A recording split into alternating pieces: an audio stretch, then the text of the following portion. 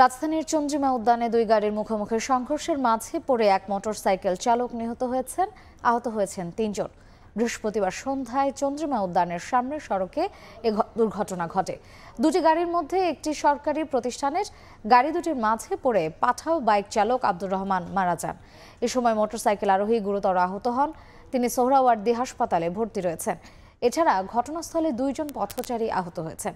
পুলিশের দাবি, ঘটনাস্থল থেকেই পালিয়েছেন সরকারি গাড়ির চালক। অন্য গাড়ির চালক এবং গাড়ি হেফাজতে নেওয়া হয়েছে।